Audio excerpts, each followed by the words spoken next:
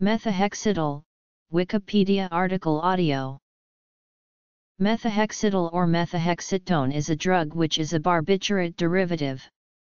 It is classified as short-acting, and has a rapid onset of action. It is similar in its effects to sodium thiopental, a drug with which it competed in the market for anesthetics.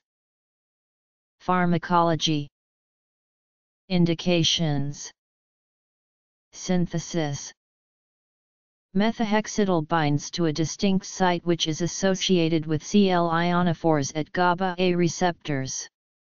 This increases the length of time which the Cl ionophores are open, thus causing an inhibitory effect.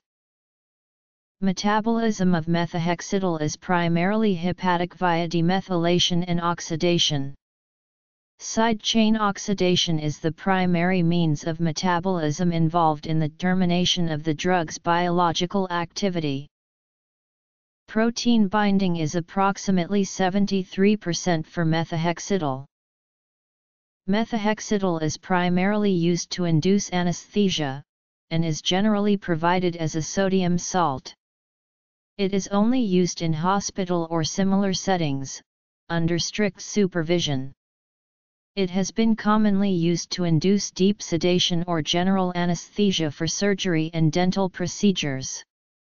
Unlike many other barbiturates, methohexital actually lowers the seizure threshold, a property that make it particularly useful when anesthesia is provided for a electroconvulsive therapy and rapid recovery rate with consciousness being gained within 3 to 7 minutes after induction and full recovery within 30 minutes is a major advantage over other ECT barbiturates. Methohexital, 5-allyl-1-methyl-5-malonic ester is synthesized by subsequent alkylation of the malonic ester itself, beginning with 2-bromo-3-hexene, which gives malonic ester, and then by allyl bromide.